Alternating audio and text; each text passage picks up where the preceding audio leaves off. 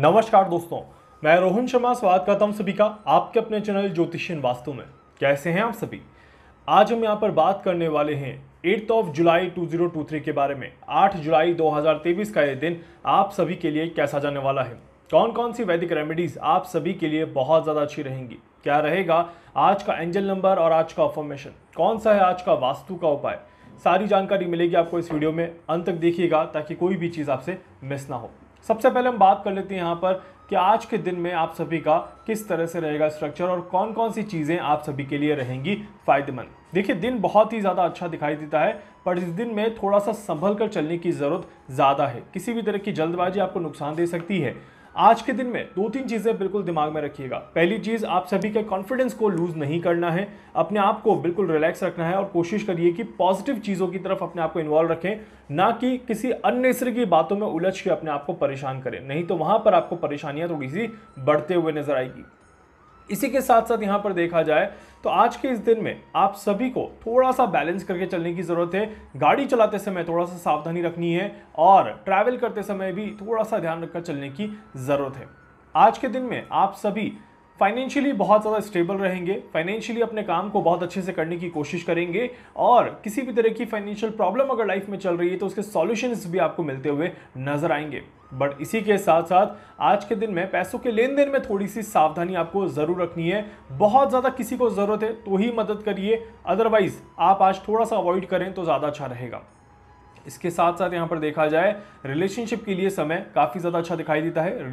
Relationship में आप सभी को फ़ायदा मिलता हुआ दिखाई देता है। बट आप सभी को आज के दिन में छोटी छोटी चीज़ों को अवॉइड करके रिलेशनशिप में छोटी मोटी खटपट से पूरी तरह से बचना चाहिए, ताकि आप सभी को किसी भी तरह का नुकसान नहीं होगा। आज का दिन प्रॉपर्टी के लिए बहुत ज़्यादा अच्छा नहीं है, इस बात का ध्यान रखिएगा। तो इसीलिए कोशिश करिएगा कि कोई भी नई प्रॉपर्टी की डील आज के दिन में ना करें, थोड़ा सा अवॉइड करें उसे तो ज़्यादा अच्छा रहेगा। सेहत में बहुत ज़्यादा ध्यान देकर चलने की ज़रूरत है। सेहत थोड़ी सी ख़राब हो सकती है। सेहत को लेकर के थोड़ी सी परेशानियाँ देखने को मिल सकती है। खाने पीने में मन ना लगे और आप सभी किसी न किसी वजह से थोड़ा सा परेशान रहें। हड्डियों का दर्द हो सकता है जॉइंट पेन हो सकता है या फिर कोई बीमारी जिसकी वजह से आपको परेशानी हो तो वो बिल्कुल पॉसिबल दिखाई देता है। इसी वजह से आप सभी को थोड़ा सा अपने आप को रिलैक्स रखकर चलने की ज़्यादा ज़रूरत है। अब क्योंकि दिन में काफ़ी सारी चीज़ें हो रही है, कुछ चीज़ें अच्छी भी हैं, कुछ चीज़ें खराब भी हैं तो इस दिन को और ज़्यादा अच्छा बनाने के लिए, और ज़्यादा बेहतर बनाने के लिए कौन कौन से उपाय आप सभी को करने हैं जो आप सभी के लिए बहुत ज़्यादा अच्छे रहेंगे, ये आप नोट कर लीजिएगा प्लीज़ आज सुबह सुबह जिस पानी से आप स्नान करते हैं, उस पानी में हल्का सा डीओ परफ्यूम स्प्रे खुशबू कुछ भी मिला करके स्नान कर लीजिएगा, इससे आप सभी को थोड़े से अच्छे रिज़ल्ट मिलते हुए नज़र आएँगे और दिन आपका थोड़ा सा बेहतर होता हुआ नज़र आएगा। इसी के साथ साथ आज के दिन में कई बार ऐसा हो सकता है कि आपका मन ना लगे, आप किसी चीज़ पर फोकस ना कर पाए। तो ऐसी स्थिति में आप सभी को आँख बंद करके अपने इष्ट देव को याद करना है और अगर पॉसिबल हो पाए तो ओम नमः शिवाय का जाप कर लीजिएगा। ये आप सभी के लिए बहुत ही ज़्यादा अच्छा रहेगा। आज के दिन में अगर आपकी ज़िंदगी में कोई अड़चने हैं, कोई रुकावटें हैं, कोई अजीब सा भय है, या कोई अनजान व्यक्ति से आप बहुत ज़्यादा परेशान हैं, या फिर किसी भी तरह की आपको लगता है कि आपके ऊपर कोई नज़र है, कोई बाधा है तो आज के दिन में आप क्या करिएगा? आप काले मूंग या फिर काले मूंग की दाल, दोनों में से कोई भी एक चीज़ जो आपके घर पर अवेलेबल हो, वो और गुड़ आप डोनेट कर दीजिएगा किसी भी मजदूर को, किसी सफ़ाई कर्मचारी को, या फिर किसी मंदिर के पुजारी को। आप अपने हाथ से ये चीज़ दान दे दीजिएगा। इससे आप सभी को थोड़ा सा फ़ायदा मिलेगा, मन का भय आपका दूर होगा और आप थोड़ा सा रिलैक्स महसूस करते हुए नज़र आएँगे। आज कोशिश करिएगा कि रात के समय में डॉग्स को अगर कुछ खिला दें तो उससे भी आप सभी के कामों में जो आ रही बाधाएँ हैं, वो दूर होंगी और आप सभी काफ़ी हद तक बैलेंस करते हुए नज़र आएँगे। सो so, ओवरऑल देखा जाए तो दिन जो है उसमें मिक्स्ड रिज़ल्ट मिलेंगे। बट इस दिन को पूरी तरह से बेहतर बनाना है। तो आज एक विशेष उपाय मैं आप सभी को बता देता हूँ। ये आप कर लीजिएगा। सुबह सुबह पीपल के पेड़ पर जल ज़रूर चढ़ा दीजिएगा। तांबे का पात्र ले लीजिएगा जल लीजिएगा उसमें। और पाँच चावल के दाने ज़रूर से डाल दीजिएगा। और पीपल के पेड़ पर जल चढ़ा करके अपने जीवन की शांति और संपन्नता के लिए कामना करिएगा। इससे आप सभी को बहुत अच्छे परिणाम देखने को मिल जाएँगे।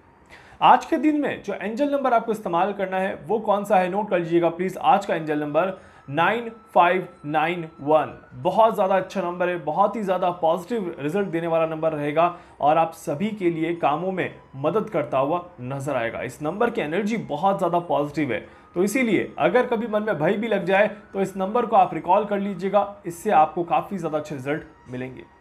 आज के दिन में जो अफर्मेशन है, ये भी आपके लिए बहुत ही ज़्यादा अच्छा है, क्योंकि आज का अफर्मेशन जीवन में सुख और शांति के लिए बहुत ज़्यादा ज़रूरी है।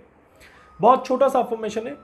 नोट कर लीजिएगा please all is well all is well आपको बोलना है एंड अपने आप को पूरी तरह से रिलैक्स रखने की कोशिश करनी है।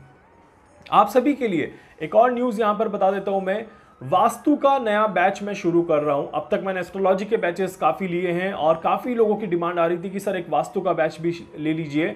और वैदिक शास्त्रों के हिसाब से वास्तु के जो नियम हैं और वास्तु की जो पूरी परिभाषा है, उसको मैं समझाऊँगा आप सभी को। और कैसे एक घर के वास्तु को अच्छा किया जा सकता है, कैसे घर का वास्तु बहुत ज़्यादा महत्वपूर्ण होता है, उसको आप सभी को बताने की कोशिश करूँगा। तो इसीलिए वास्तु का मेरा नया बैच तेरह जुलाई से शुरू हो रहा है। अगर आप सभी ज्वाइन करना चाहते हैं तो मुझे जल्दी से व्हाट्सएप पर मैसेज कर दीजिएगा। आगे की सारी जानकारी आपको व्हाट्सएप पर मिल जाएगी।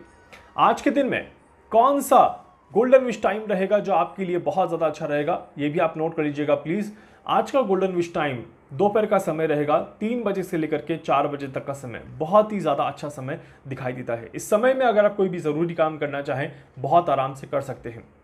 रात को साढ़े आठ से नौ बजे तक का जो समय है, उसे थोड़ा सा अवॉइड करके चलिएगा। इस समय में कोई भी काम ना करें, इस बात का विशेष ध्यान रखिएगा, ताकि आप सभी को किसी भी तरह की कोई दिक्कत, कोई परेशानी ना हो।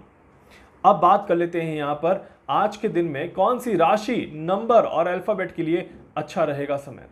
राशियों में सबसे पहले यहाँ पर बात कर ली जाए तो वृषभ राशि, सिंह राशि, तुला राशि, धनु राशि और कुंभ राशि के लिए समय काफ़ी ज़्यादा अच्छा दिखाई देता है। नंबर्स में बात कर लें तो नंबर दो नंबर तीन नंबर पाँच और नंबर नौ के लिए बहुत ही ज़्यादा अच्छा समय है। अल्फ़ाबेट्स में देखा जाए तो अल्फ़ाबेट्स में एफ़ आई के L M N R U T और जेड आप सभी को बहुत अच्छे फ़ायदे देखने को मिल जाएँगे। आज के दिन में अगर आपका जन्मदिन है, आपकी एनिवर्सरी है, आपके जीवन का कोई भी विशेष महत्वपूर्ण दिन है, आप सभी को मेरी ओर से हार्दिक शुभकामनाएँ।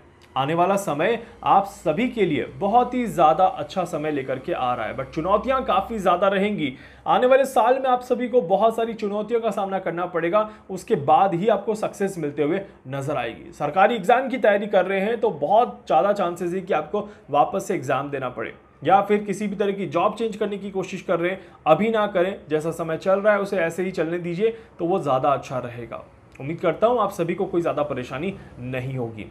अब बात कर लेते हैं यहाँ पर आज के घर के वास्तु के उपाय के लिए। क्या है आज के घर का वास्तु जो आपके लिए रहेगा बेहद खास? देखिए, आज के दिन में सबसे पहली चीज़, आप सभी को नॉर्थ डायरेक्शन को पूरी तरह से बैलेंस्ड रखना है। इस बात का विशेष ध्यान रखिएगा। कोशिश करिएगा कि नॉर्थ में किसी भी तरह का कोई बहुत ज़्यादा हैवी आइटम ना हो या फिर नॉर्थ में बिल्कुल अंधेरा ना हो। आज के दिन में स्पेशली मैं कहूँगा कि इस चीज़ को नोट कर लीजिएगा ताकि आप सभी के लिए अच्छा रहे। आज के दिन में कोशिश करिएगा कि साउथ का जो डायरेक्शन रहेगा, बिल्कुल अपोजिट ऑफ़ द नॉर्थ वहाँ पर आप कोई भी भारी आइटम रख सकते हैं, वहाँ पर थोड़ा अंधेरा भी रखें तो कोई दिक्कत, कोई परेशानी नहीं होगी।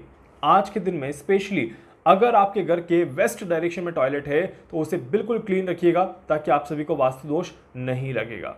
उम्मीद करता हूँ कि आप सभी के लिए ये दिन अच्छा जाए और आप सभी इस दिन को और अच्छे से एंजॉय करते हुए नज़र आए। वीडियो को लाइक कर दीजिएगा चैनल को सब्सक्राइब कर दीजिएगा बेल आइकन पे ज़रूर से क्लिक करिएगा। कुछ पूछना चाहते हैं, जानना चाहते हैं, अपने बारे में कुछ समझना चाहते हैं, आप मुझसे संपर्क कर सकते हैं। मैं पूरी पूरी कोशिश करूँगा आप सभी की हर संभव मदद यहाँ पर कर सकूँ।